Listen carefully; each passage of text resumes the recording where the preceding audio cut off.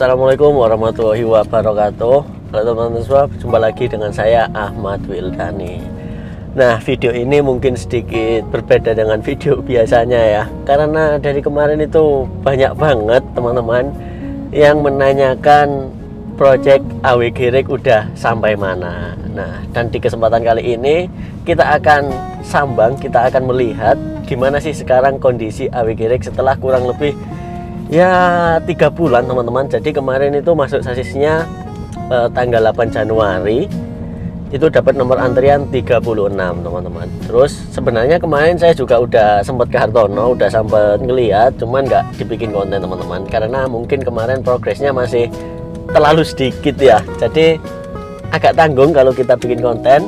Dan kemarin saya juga udah dikasih info sama Mas Novan marketingnya dikirimin fotonya nah kalau udah ngelihat fotonya kemarin itu kayaknya kalau dibikin konten ini progresnya udah 50% ke atas mungkin teman-teman kalau hari ini dan hari ini tanggal 12 ya 12 hari ini tanggal 12 bulan 3 hari pertama puasa ya Gimokil tagak ini kok. eh.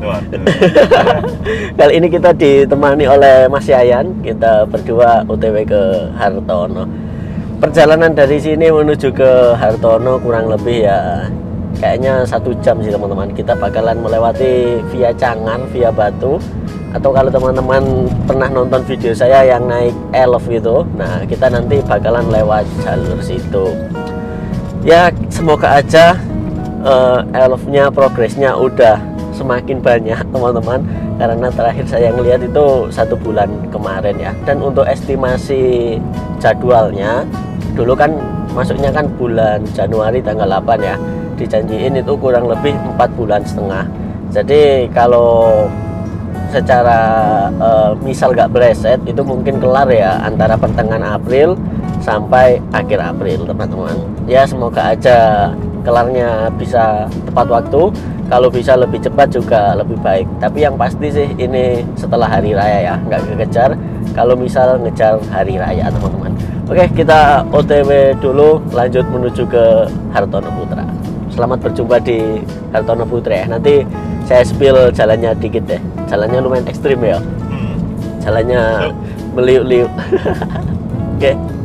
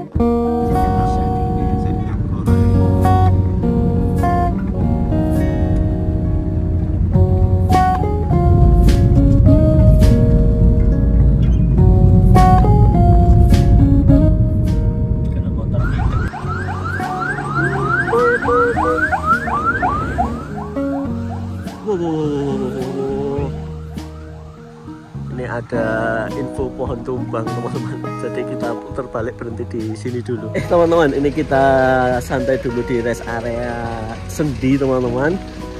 Kita nunggu kendaraan ada yang turun dulu. Kalau ada kendaraan turun berarti pertandakan di sana udah beres ya. Kalau kita nunggu di sana nanti kan di sana hutannya lebat ya. Takutnya terjadi sesuatu lagi gitu. Jadi kita nunggu di sini dulu karena kalau muter lewat terawas itu lumayan jauh teman-teman.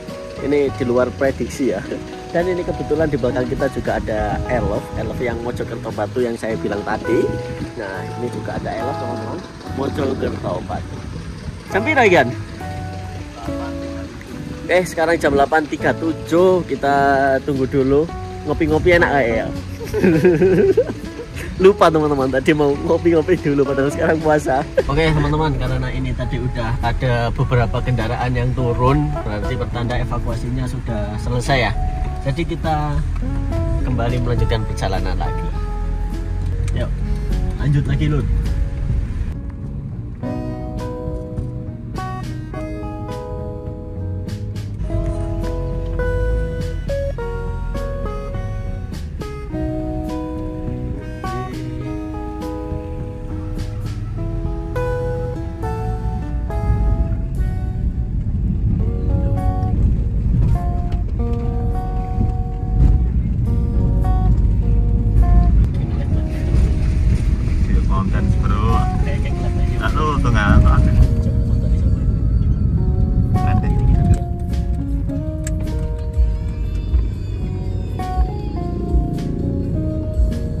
Oke teman-teman ini sekarang kita udah sampai di Karoseri Hartono. Ini di sebelah kanan kita adalah Karoseri Hartono. Ini tuh lokasinya ada di desa apa? Becek Oh ya Becek ya? Daerah Karang Bocek, Bocek. Teman-teman. Daerah Karang Ploso Kabupaten Malang. Oke sekarang langsung aja kita masuk ke dalam yuk. Setelah tadi ada sedikit drama ya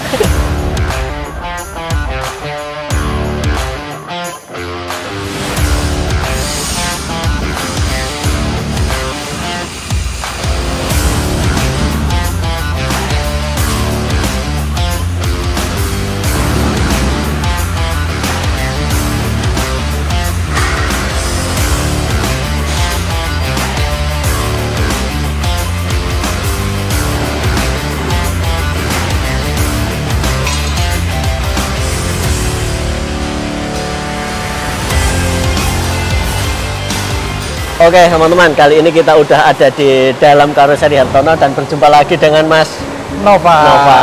Gimana kabarnya. Mas? Alhamdulillah baik. dan akhirnya silaturahmi lagi. Nah, akhirnya silaturahmi lagi. Sebenarnya kemarin juga sempat ke sini, cuman Ah, tidak dibikin konten.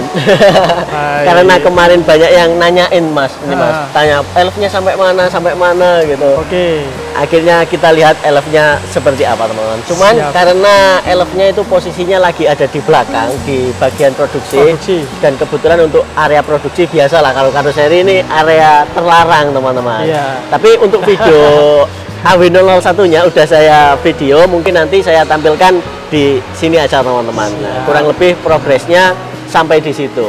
Oke Mas, kalau kayak seperti punya armada saya ini, itu progresnya masuknya berapa persen Mas? 50 persen.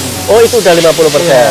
Itu maksudnya udah 50 persen. Setelah itu udah masuk proses dempul. Oh jempol ya. Setelah dempul baru pengecatan. Setelah pengecatan finishing, setelah itu serah terima unit. Oke. Itu kemarin teman-teman sedikit flashback nih mas. Masuknya kalau nggak salah tanggal 8 Januari kemarin. Ya, Terus Februari kemarin masih antrian. Betul. Kebetulan di Hartono ini ramai banget. posisinya pada saat itu memang lagi antri. Lagi antri. Nah, Hmm. sekarang bulan Maret progresnya udah 50% teman-teman. Kalau misal nggak melewati antri gitu berapa lama sih mas? Kalau langsung dikerjakan itu kurang lebih cuma dua bulan waktunya. Kalau langsung dikerjakan kurang Iya. lebih dua bulan aja. Oke. Dua bulan berarti lumayan cepet mas ya? Iya. Kalau udah misal nggak lewat antri gitu. Yang lama memang proses antriannya. Proses Belum lagi antriannya. kalau ada kendala di lapangan ada teman-teman yang sakit Hmm, atau keterlambatan barang dari luar gitu. Oke. Biasanya seperti itu. Kalau tadi 50% nih mas, kurangnya kurang apa aja sih mas? Jadi kalau udah seperti tadi, tahap selanjutnya itu diapain mas? Setelah selanjutnya anti karat dulu. Oh, anti karat dulu. Oke, setelah anti karat proses dempul. Hmm? Setelah dempul baru poksi. Oh oke. Oke, setelah poksi dicek ulang, barangkali ada pori-pori yang kurang bagus, di diteliti lagi, lagi. setelah itu baru masuk pengecatan. Baru masuk pengecatan. Setelah pengecatan mungkin baru interior perapian interior mas ya. Kurang lebih hampir sama dengan karoseri-karoseri yang lain prosesnya. Oke. Nah kalau kayak unit yang di belakang kita ini masuknya berapa persen kalau gini ini? Kalau ini kurang lebih sudah 80 persen. Kurang lebih udah 80 persen. Iya. Oke. Ini udah siap pengecatan. Siap pengecatan ini. ya? Ha, Kalau ini. Sudah siap pengecatan. Terus ini mas, kalau estimasi nih mas, misal tidak meleset, soalnya Iya. kan kita tahu ini puasa, Iya. kepotong hari raya, banyak banyak potongannya ini mas, banyak Betul. banyak kepotong liburnya. Betul. Ini estimasi kira-kira finishnya itu kapan mas? Awal Mei. Awal Mei perkiraan Iya. mas, Kalau sesuai jadwal antriannya, Ha-ha. sesuai nomor urut itu awal Mei. awal Mei. Iya. Cuman biasanya kalau kompensasi kayak eh, meleset itu melesetnya paling lama berapa ini sih mas? Kurang lebih estimasi eh, kalau meleset itu biasanya ya ya seminggu. Oh seminggu, berarti Oke. nggak nggak nyampe yang berbulan berbulan-bulan Oh, gitu mas ya? enggak, enggak sampai. Oh berarti cuma seminggu, dua minggu gitu aja ya, nggak nyampe Oh. satu bulan. Oke, itu teman-teman. Jadi jadinya kurang lebih ya awal Mei, kalau nggak gitu selambat-lambatnya pertengahan Mei. Betul. Oke, Paling lambat. siap. Makasih banyak Mas Noman Sama-sama. udah diizinin melihat unit. Amin 01 biar teman-teman biar teman-teman terobati rasa penasarannya. Siap. Soalnya gini Mas, ini elfnya ini elf konten mas Masuk. didapat dari konten dibikin juga dikontenin juga mas Ya, semoga kontennya yang bermanfaat, Amin, amin. banyak, barokah. amin oke Dan udah kami pun juga perwakilan dari karoseri juga mohon maaf tidak bisa mengekspor di Oke. dalam karena memang itu area khusus area khusus teman-teman untuk produksi. oke Siap. siap makasih banyak mas ya Sama-sama. selamat Terima berjumpa kasih. lagi mas Sama-sama. Selamat berjumpa lagi.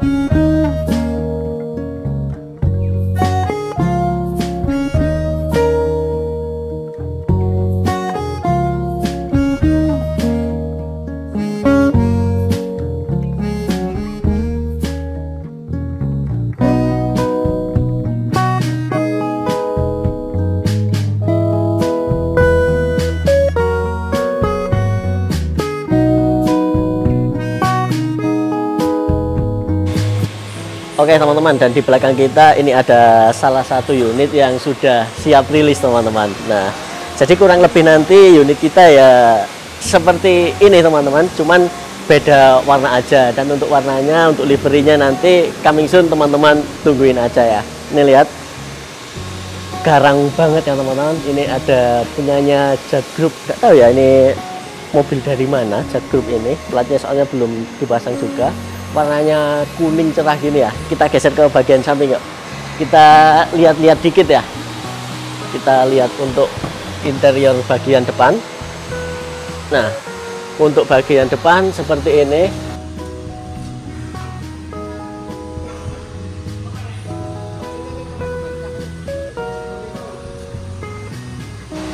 Terus untuk kursinya ini kursi standar dari Hartono. Kita sepil dikit aja ya. Nanti untuk lebih lengkapnya kita tunggu unit kita rilis teman-teman. Oke, kita buka yang bagian kabin penumpang. Nah, untuk kabin penumpang, wah bisa teman-teman lihat ini lower AC-nya pakai yang Jet Boost 3, terus atas itu ada variasinya juga Jet Group. Nah, oke seperti ini teman-teman. Ini detailnya, oh dikunci nih. Kita lihat dari bokongnya aja deh. Nah, jadi untuk bagian belakang Hartono itu ada dua tipe teman-teman. Yang pertama itu bedanya hanya di lampu ini sih teman-teman. Di mana kalau yang varian terbaru itu lampunya pakai lampu LED yang kayak punya HS teman-teman. Oke, kurang lebih seperti ini teman-teman untuk unit dari Hartono Putra yang Elf ya.